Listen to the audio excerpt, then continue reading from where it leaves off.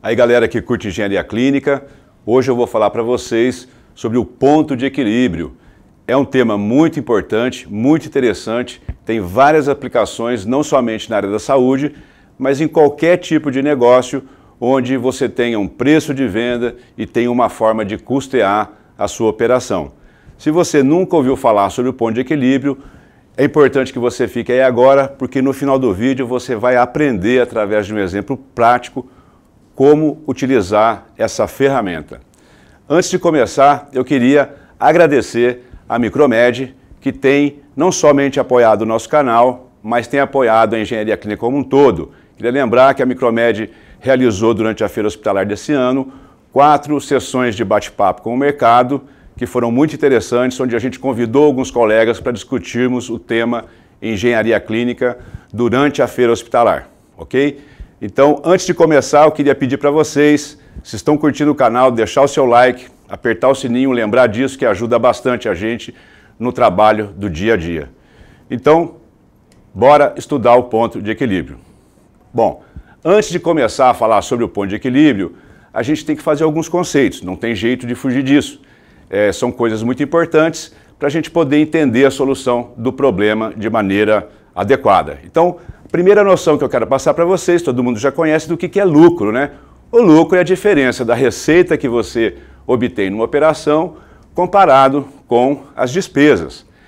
E o que, que é lucro operacional? O lucro operacional ele é o lucro que advém da operação específica da empresa. Então, em alguns casos pode ser interessante você segmentar a operação da sua empresa em várias partes. Você tem interesse de identificar o ponto de equilíbrio de uma determinada operação, então você tem que pensar em receitas operacionais e despesas operacionais. Então, matematicamente, é uma equação muito simples. De sub, lucro operacional é a receita operacional menos a despesa operacional. Matematicamente, é muito simples assim mesmo. Vamos adiante. Por onde que a gente começa?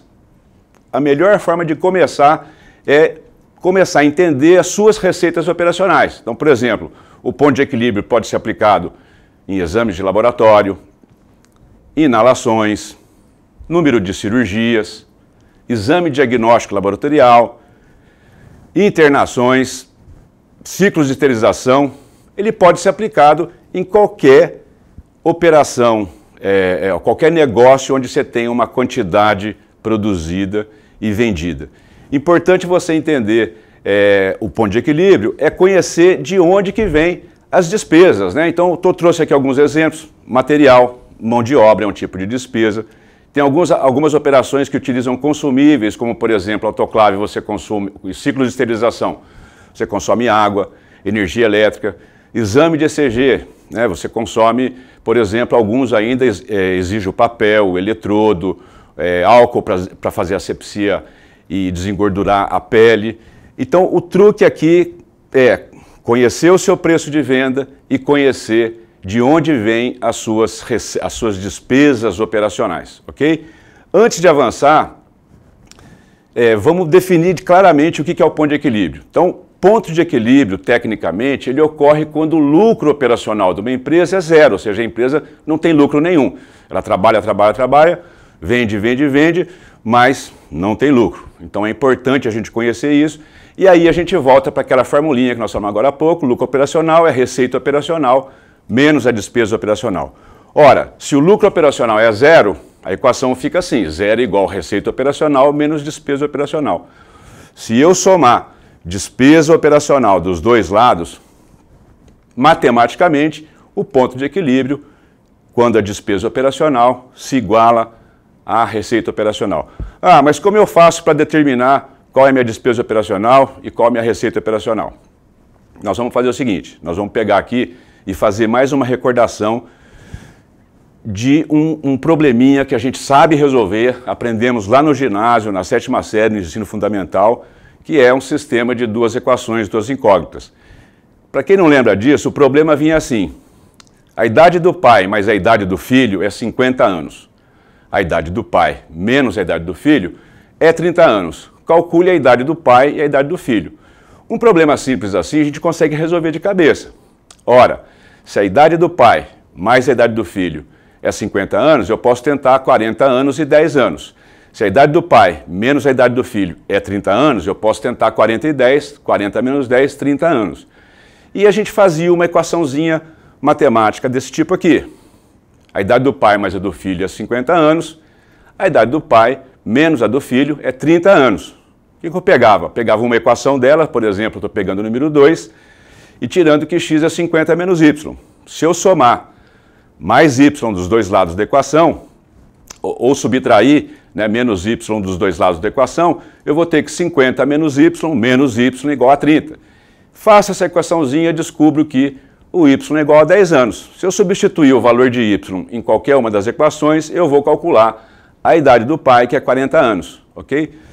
Então é muito simples, a gente vai usar essa ferramenta para calcular o ponto de equilíbrio da operação do seu negócio, seja ele qual for. Pode ser uma oficina de assistência técnica, que você vende ordens de serviço, tem um preço de venda, tem um custo para realizar o serviço. Então, vamos um pouquinho mais adiante. Vou fazer uma outra recordação. Nós aprendemos também no ginásio que uma reta pode ser expressada por uma equação desse tipo, y é igual a x mais b.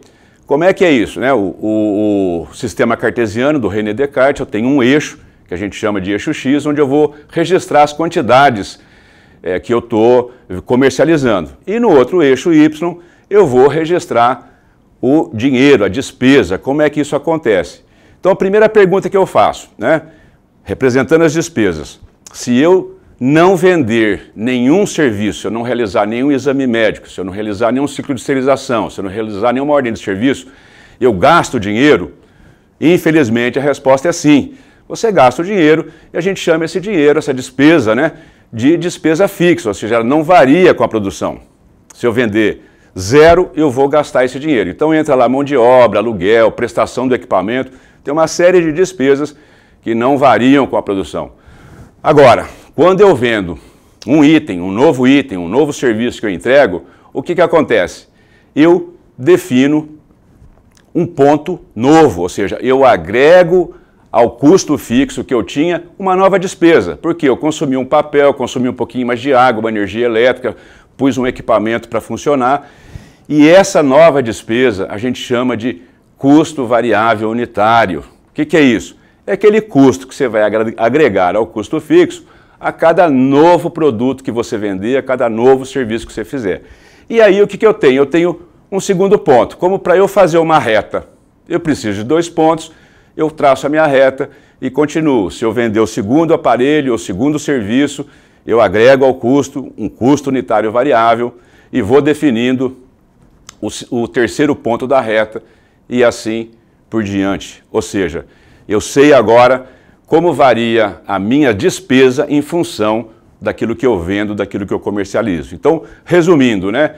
Na equação da reta, o que a gente está chamando de custo fixo é o B e o que a gente está chamando de custo variável unitário é a letra A. No nosso problema, vocês vão ver que nós vamos saber o Y, nós vamos saber o X, a gente só não vai saber quanto vale o A e o B. E para calcular o A e o B, nós vamos usar aquele sistema de duas equações duas incógnitas. Mas vamos um pouquinho à frente agora falar da outra equação que é muito importante, que é a equação da receita, né? Que ela tem essa forma aí, ó, y é igual a cx. Então, voltando lá no nosso gráfico, né? Quantidade no eixo x, dinheiro no eixo y. O que acontece, né? No processo da receita, se eu não vender nenhum equipamento, eu ganho dinheiro?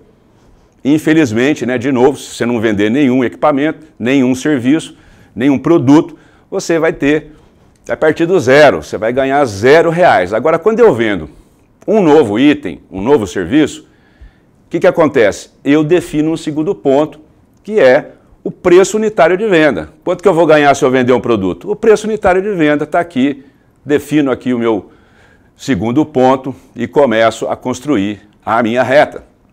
Se eu vender mais um equipamento, mais um serviço, segundo ponto, e vou construindo, como eu fiz no problema anterior, a reta que representa a variação das suas receitas a partir da sua produção. Então, para resumir, Y é igual a CX, onde o C é o preço unitário de venda. Ok? Então, o que, que a gente vai fazer?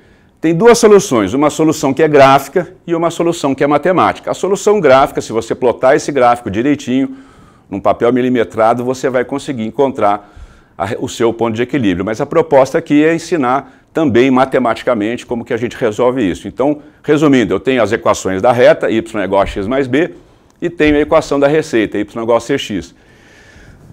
Bom, como que o problema se apresenta em geral? Então, eu estou aqui com um problema típico, um, um laboratório de análises clínicas recebeu uma proposta para realizar exames e a oferta feita foi a seguinte: o comprador garante 5 mil exames por mês e aceita pagar um preço de R$ 3,50 para cada exame realizado. A pergunta é: esse laboratório deve aceitar essa oferta?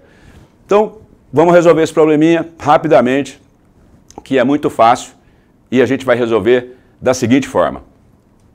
Lembra que eu falei que a gente precisa de conhecer nossas despesas? Isso é importante, é o que vocês estão vendo aqui. Então eu escolhi dois meses, janeiro e fevereiro. Por que dois? Porque para fazer uma reta eu preciso de dois pontos. Então, historicamente, esse laboratório tem um comportamento parecido com essa tabela. Janeiro ele fez 10 mil exames e gastou um total de 28 mil reais. Em fevereiro ele fez 5 mil exames e gastou um total de 17.500 reais. Isso que eu estou explicando para vocês, né? A vida não é uma reta, mas é uma boa aproximação que a gente consegue fazer e nesse ponto é muito importante você saber de onde vêm os seus custos, conhecer o seu processo. Quanto mais linhas você tiver nessa tabela, mais exato vai ser o seu resultado. Então eu tenho lá é, X né, da minha equação, 10 mil exames em janeiro, 5 mil exames em fevereiro, é, e Y eu tenho 28 mil em janeiro e 17.500 em fevereiro. O que, que eu faço com essa informação? Eu vou usar a equação da reta, as informações que eu tenho, para resolver esse problema. Então Y ali vai entrar o dinheiro e o X vai entrar o número de exames em janeiro e em fevereiro, então eu acabo tendo duas equações. A equação da receita eu já tenho. Y é igual a R$ 3,50 vezes X. Cada novo exame eu ganho R$ 3,50. Então vamos adiante, que vocês vão ver aqui agora montando esse sisteminha que vocês estão enxergando aqui agora, eu tenho 28 mil reais em janeiro, é igual a A, que eu não sei, vezes 10 mil exames, mais B, que eu também não sei e quero calcular. Segundo ponto, 17.500 é igual a A vezes 5 mil mais B. Sisteminha de duas equações, duas incógnitas. Nós calculamos o A e o B. Aqui o exemplo já está pré-calculado. O A é 2,1, ou seja, R$ 2,10 e B é 7 mil. Como é que eu interpreto Y? Isso. YD, que vocês estão vendo embaixo, é igual a 2,1x mais 7 mil. Significa, se eu vender zero exames, zero produtos, zero serviço, eu vou ter uma despesa fixa de 7 mil. E mais, a cada novo exame eu vou acrescentando R$ 2,10 a despesa fixa. Então essa é a equação que representa a variação das despesas da minha operação em função da quantidade produzida e vendida. Tem alguns colegas que dizem, em função da quantidade produzida e vendida e recebida, né? Porque às vezes é difícil receber, vocês sabem disso. Mas vamos lá. Qual é o passo que eu faço agora? Volto lá para aquele para aquela questãozinha nossa que nós tínhamos lá. Tem uma receita, a equação da receita nós já temos, 350x, a da despesa nós temos. Ora, se o ponto de equilíbrio ocorre quando a receita é igual à despesa, eu igualo essas duas equações, como vocês estão vendo aí. 7 mil mais 2,1x igual a 3,5x. Se eu calcular o valor de x, eu vou chegar no valor de 5 mil exames. E aí, o laboratório deve aceitar ou não deve aceitar essa proposta? Depende. Às vezes, a gente não sempre ganha em todas, você perde numa, empata em outra. Dependendo do, do, tipo de acordo comercial, pode ser interessante, ele pelo menos não está perdendo, está atendendo o cliente.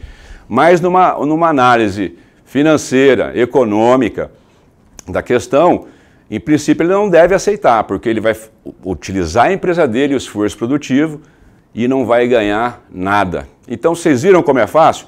O mais importante é você saber relacionar suas despesas em dois pontos ali que representam a operação da sua empresa, saber o seu preço de venda e sisteminha de duas equações, duas incógnitas, você vai saber se, se, se você aceita uma proposta não, seja se você estiver vendendo, seja se você estiver comprando. Então é isso, ponto de equilíbrio, não tem mais o que dizer, a não ser que ele pode ser aplicado com problemas mais complexos. Às vezes você quer resolver um problema, eh, não tem um exame só, você faz 10 tipos de exame, você quer aplicar, saber o ponto de equilíbrio de operação do seu laboratório como um todo. Probleminha um pouquinho mais complexo, mas a matemática é a mesma.